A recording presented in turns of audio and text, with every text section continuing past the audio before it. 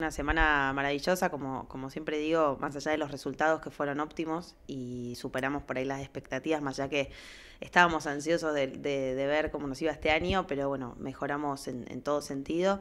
Eh, el viaje fue muy lindo, la verdad que la convivencia con los chicos, se portaron súper bien los profes, el manejo que tienen con los chicos también, así que nada, salió un 100, la verdad muy, muy bien. El desafío ya era, había mucho más gente de la que tenían que cuidar ustedes, ¿no? Sí, tal cual, llevamos más chicos, por lo cual siempre eso te genera una, doble presión.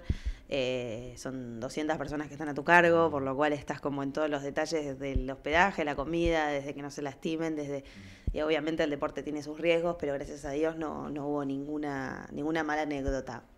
En cuanto a días, pudieron disfrutar algunos chicos, los vimos en la playa, disfrutando un poquito de la arena y del mar. Sí, los primeros días nos tocaron eh, llovizna y, frío, pero los últimos dos, tres días estuvieron divinos, así que los chicos pudieron recorrer, pudieron ir a la playa, pudieron correr, recorrer la peatonal, pasear un poco por Mar del Plata, así que muy contentos todos. Cansados, cansados todos, porque bueno, es, es, es muy intenso estar allá. Solo los que estamos allá sabemos la intensidad que tienen los días, se hacen largos, levantás muy temprano, terminas bastante tarde, así que, pero bueno, muy bien.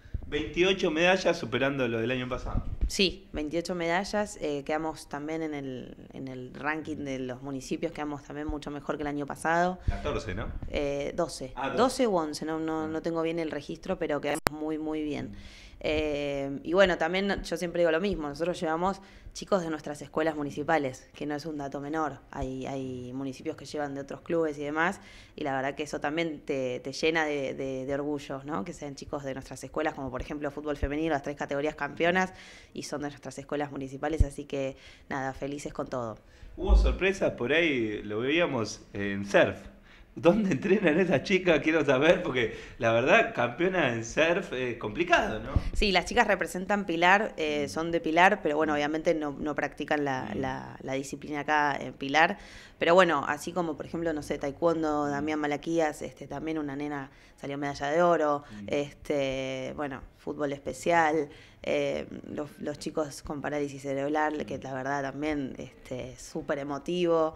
Eh, historias que van más allá del deporte, digo, te une también desde el corazón porque hay historias muy, muy lindas, muy, muy lindo fue el viaje. Bueno, tampoco hubo lesionados, en eso también es un dato más que positivo. Sí, gracias a Dios no. Igualmente nosotros siempre nos llevamos con la delegación a, Mauricio Castel, que es un genio, que nos mm. acompaña siempre y está atento a, cualquier dolencia o, situación con los chicos, más que un dolorcito de garganta, un dolorcito de cabeza y demás.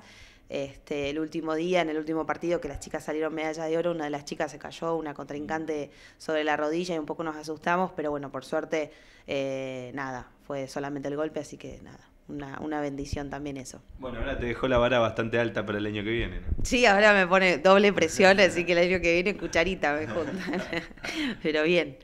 Bueno, se viene mañana la inauguración de Microestadio algo tan esperado por los pilarenses y seguramente también esto lleva a una organización que viene de hace tiempo, ¿no? Y sí, hace más de seis meses que estamos trabajando con el evento deportivo, eh, que es lo que más a mí obviamente me compete. Eh, estamos laburando un montón, muy contentos, muy orgullosa del equipo del polideportivo que está laburando de día y de noche. Ayer terminaron a la una de la mañana de poner unas rejas en, los vértices de, de, adentro, eh, limpiando, baldeando, poniendo los carteles, poniendo los matafuegos.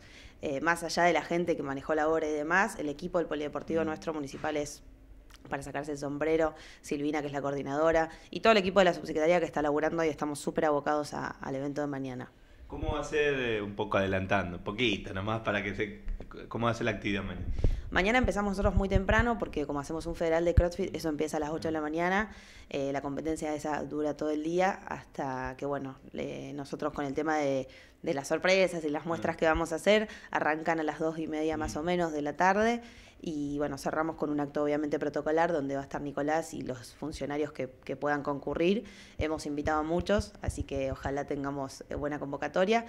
Lo importante que, que obviamente nuestro intendente nos va a acompañar y, bueno, también la familia de Rusticucci.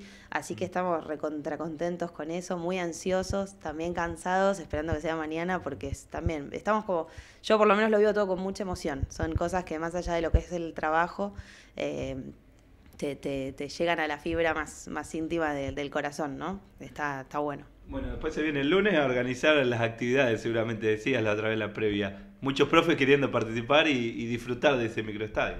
Sí, tal cual. Ahora va a venir toda eh, la, fila de profes eh, así, diciendo, bueno, ¿qué día me toca a mí? Así que sí, después vamos a tener que organizar ese monstruo que es maravilloso y que muchas disciplinas pueden empezar a entrenar ahí.